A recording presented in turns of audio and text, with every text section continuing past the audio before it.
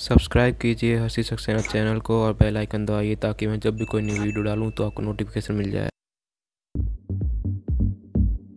जाए